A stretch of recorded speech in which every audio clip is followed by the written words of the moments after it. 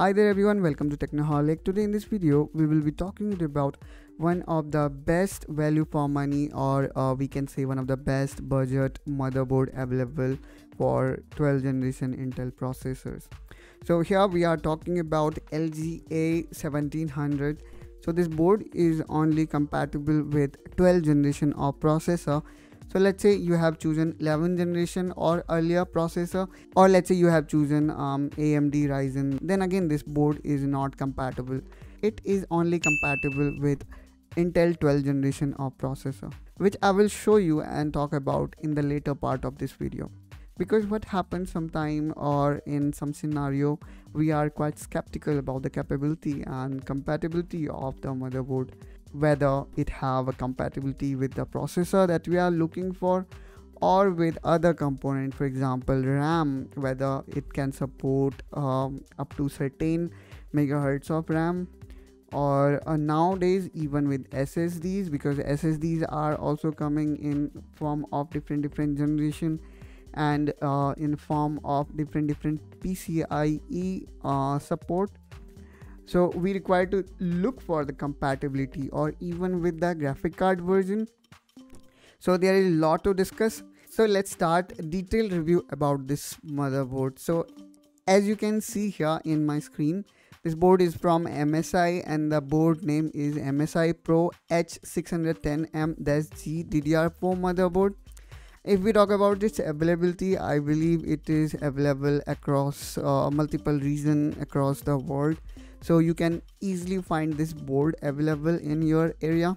So let's start understanding this board in detail so that uh, you know you can take a wise decision whether you should go for this board or not. Because the kind of value that it provide for the price and you know guys right now the kind of price hike we are seeing for all commodities. So in my opinion it would be very wise decision to go for the correct product.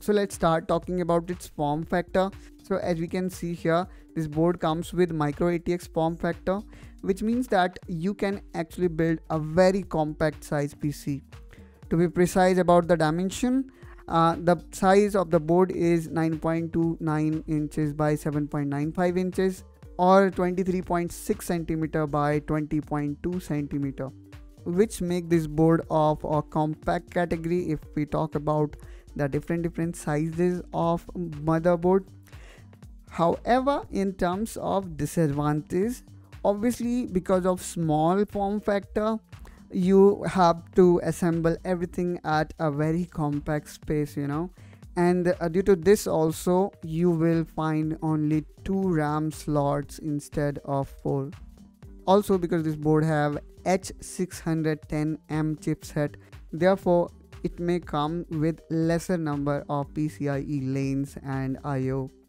We will see and talk about this on later part of this video because again you know it depends on your need as well. Now let's talk about the number of compatible processor with this motherboard. The MSI Pro H610M-G DDR4 motherboard is actually one of the very basic and budget friendly motherboard but this really doesn't mean that it won't support i7 processor or let's say i9 processor. It definitely support all the intel 12 generation processors starting from very basic celeron g6900 or intel pentium gold g7400 to intel core i3 i5 i7 to extremely fast intel core i9 12900ks the only thing that we require to keep in mind that uh, we provide enough power and required cooling for this hardware. And again you know the expensive cpu you may have a lot of other features that may not be expanded with this board. But it really doesn't mean that you may not able to run the fastest 12 generation processor in it. You definitely can run any intel 12 generation processor in it so from processor compatibility side you really do not need to worry about. Now let's talk about the ram. This board support up to 64 gigabyte of ram with a speed of 3200 megahertz. So while buying the ram you require to take care this thing in your consideration that your ram frequency should not exceed 3200 megahertz um, which means that you can easily use 3200 megahertz 3000 29333 or you know the lesser megahertz ddr4 ram. Yes but you need to keep in mind that the ram should be at least ddr4 and as we said before this board only comes with two slots per ram so you can only install two memory module to it. Also one thing you need to keep in mind while buying the ram you should always buy two sticks instead of one module because the ram always work in dual channel. So what does this mean? Let's say you want to install 32 gigabyte of ram to your system. So go for 16 16 gigabyte of two sticks instead of single 32 because um, in this way you can utilize the complete 3200 megahertz of potential the only con that we can see with this motherboard in terms of ram is that it only support ddr4 ram not the latest ddr5 and believe me guys even if you go for ddr5 first of all the ddr5 ram as of now are very expensive and you will not gain that kind of performance for the value that you are paying for and secondly uh, even you know the slightly higher chipset of b series or even z series in some variants what we have seen that even in those expensive chipset we do not see all the motherboard have ddr5 support. Now let's talk about the gpu if we talk about the gpu compatibility the motherboard comes with one pcie e 4.0 by 16 lane for gpu which means that you can install from very basic GT 730 to one of the most powerful RTX 3090 in it. Not only that, you can also host professional Quadro and Fire Pro series to it. The only thing you need to take care of is the power supply. So you should choose the appropriate power supply based on the GPU that you decided to go for if we talk about the storage then definitely you can connect the SATA based hard drive to it, it as it comes with four SATA ports.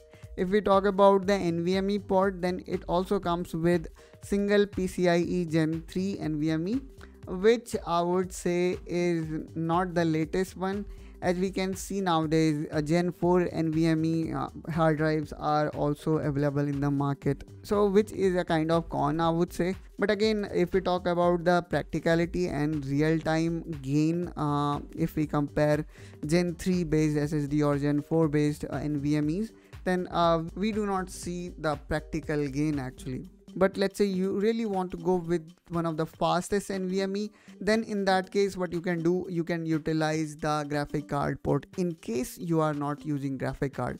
Because the graphic card is PCIe Gen 4 then in order to utilize that port you may need to buy an adapter which can convert PCIe to NVMe uh, if you really want to go for it i will put the link of such kind of adapter in the description of this video and if we talk about the price of this adapter this adapter is very cheap i would say. Now let's talk about the io that we get with this motherboard.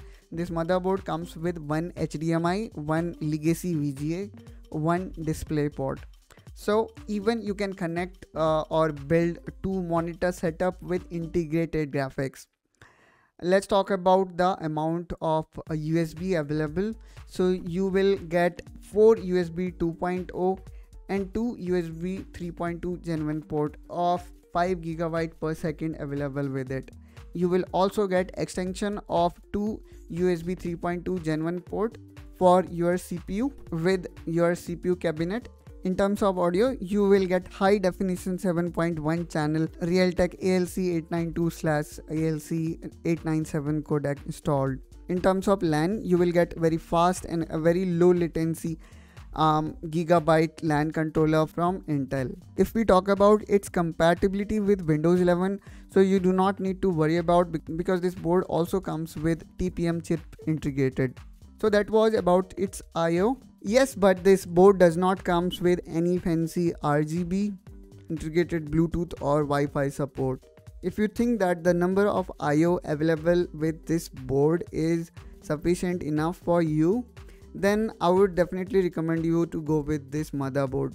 If you are looking to build general purpose or a productivity desktop or workstation, then for sure you can go with it in terms of cpu recommendation if you are looking to build intel uh, celeron or pentium or even core i5 processor you can definitely consider this board the last thing that you should keep in mind while deciding and while going for this board is that it only comes with two slots of RAM. So keep this thing in mind while purchasing RAM for your brand new system. I hope guys this video might help you to decide whether you should go for this motherboard. If you have any question or doubt then for sure you can ask me in comment down below and I will try to answer you as soon as possible. That's all guys from my side in this one. I hope you enjoyed it. If yes, then don't forget to like and subscribe to this channel for such content. And I will see you soon in my next video. Till then, take care and bye bye.